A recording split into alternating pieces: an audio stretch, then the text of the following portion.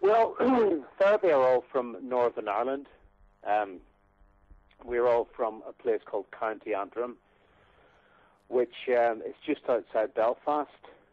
And we all met really through being in different bands. I mean, we were all in different kind of local bands, Mm-hmm.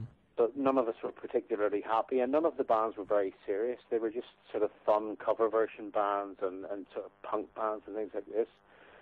And we all met in a college at a charity gig, which was for um, poverty in Africa.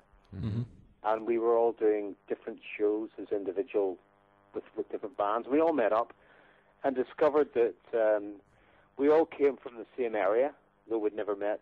Uh, myself and Fyfe, the drummer, had never met each other before. And we all shared a love for the same kind of music, which was a lot of the American noise acts at the time, Mm-hmm. and bits of thrash metal and punk. Um, and we kept in touch really after that first meeting.